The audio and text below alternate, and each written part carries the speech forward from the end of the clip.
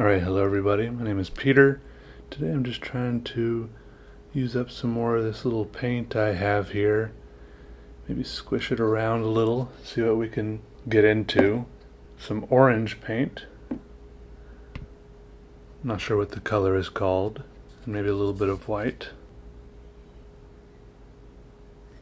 And I have no idea what this will do, but I have a syringe here with Gamsol in it, which is a type of paint thinner. So I want to take this syringe and plunge it into the center of the paint and squirt some of it in there, which probably is doing absolutely nothing because the whole point of Gamsol is to kind of destroy the bonds between paint.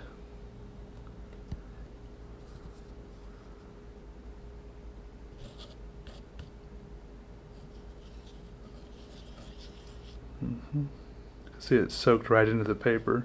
It's really a chemical you're supposed to use for doing uh, oil painting, I think.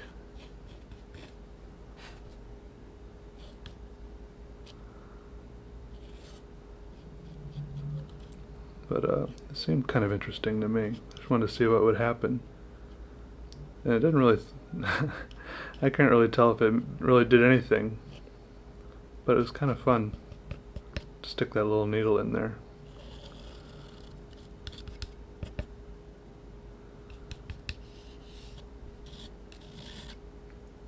I like the shade of orange when you mix the white with the orange and kind of makes a, a lighter shade there.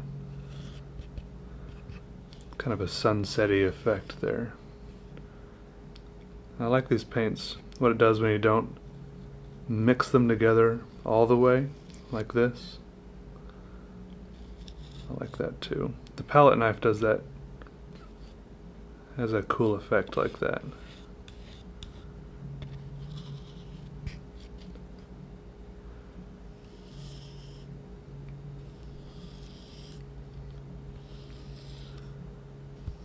Just enjoying the way the paint squishes and mixes itself together as you move it around on the paper.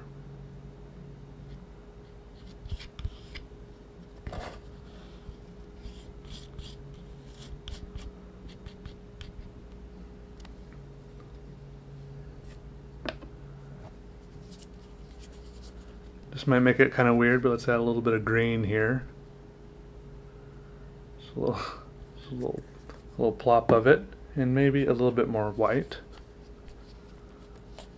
I like plenty of white paint. It's fun to mix into the other stuff. I'm not, I'm not sure what green and orange makes together. You know, these aren't these aren't like the the primary colors whichever ones you're supposed to be mixing. I'm just not sure.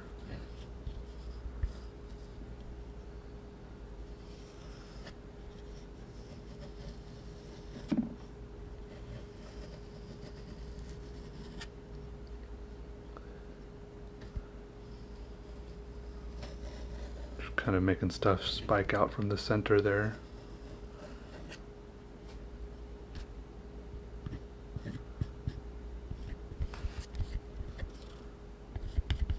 get too caught up in what should or shouldn't be. It'll all be fine. I'm really, I'm really undecided if what I did there at the beginning with the, um, the Gamsol, the paint thinner, really accomplished anything at all. It might have changed the consistency of some of the paints. I think that's all it did, if anything. Really, it wasn't intended for this this type of paint though.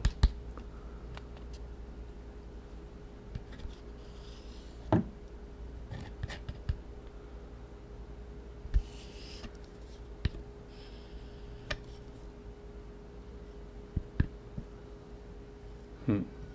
Honestly, I really want to see it'll happen if I add a little bit of linseed oil, another chemical you're supposed to use uh, with oil paints. I'm going to pull a little bit out with the syringe. Just like that.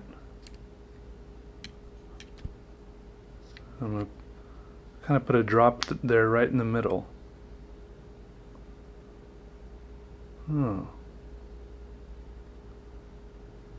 It's not really doing anything. It's just kind of sitting on top.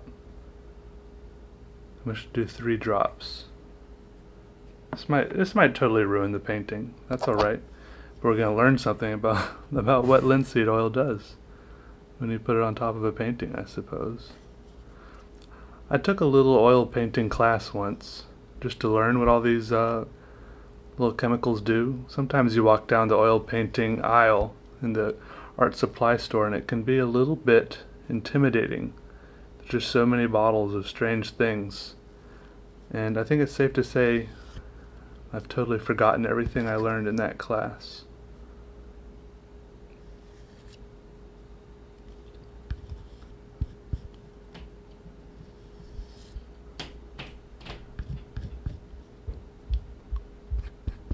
Can you hear my neighbors upstairs?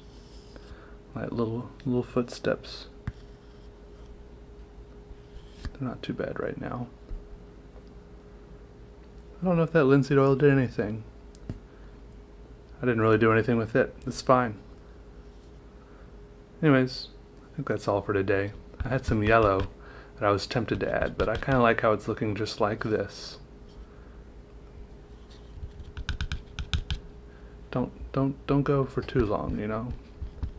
It'll start looking worse really quick. Not that it's all about whether it looks good or not.